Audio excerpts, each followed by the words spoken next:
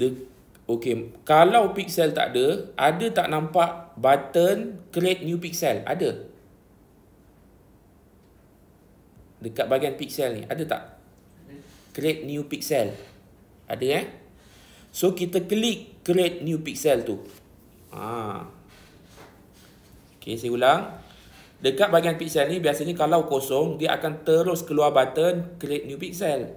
So kita klik create new pixel ni dan tulislah nama website kita. Contohlah nama website sabun badang sabun badang makeover.com dan belakang dia kita kena tambah keyword pixel agar tak keliru. Ha, ni untuk rujukan. Ataupun kalau saya tak nak pakai nama website, saya tulis sabun badang saja pun dah boleh. Ha, tak semestinya kita kena letak nama website. Ha, tapi belakang ni kita kena ada keyword pixel. Untuk apa? Untuk tak nak keliru. Okay, dah sampai sini dah. Dah eh? Okay, lepas tu klik saja button create pixel. Ha, create pixel. Dah siap. Ha, lepas tu untuk enter website URL ni, ini kemudian so terus saja boleh pangkah. Nanti kita set up ni kemudian. Okay.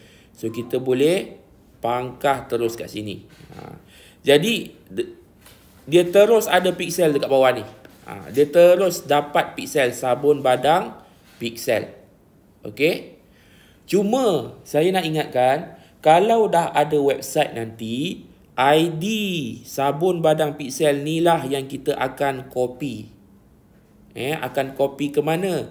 Nanti kita akan copy letak dekat website kita. Ha, contohlah website saya nama dia ha, ni eh. Ha, letak kat mana dia punya ID tu? Ha, ni saya tunjuk sekejap sepintas lalu. Dekat pixel your site yang semalam saya tunjuk. Okey, kita pergi saja dekat pixel your site. Kemudian dekat Facebook ni klik for setting kita paste terus ID dekat sini. Ha nampak. So ID yang ni ha, nak copy tu nanti dia kalau kat sini susah nak copy. Biasanya saya copy dekat dekat next dekat bahagian ads ni bawah ni ada ID dia. Saya boleh copy. Eh saya boleh double click. Ha, saya boleh pilih lah sabun badang saya boleh double click saya pergi sini. Kemudian saya paste. Lepas tu saya save. Ha, macam tu. Tapi saya nak bagi tahu satu website satu pixel.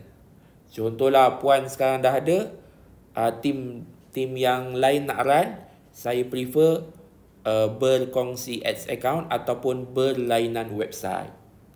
Ha, seorang satu website ke. Ha, okay Okay, berbalik kepada uh, apa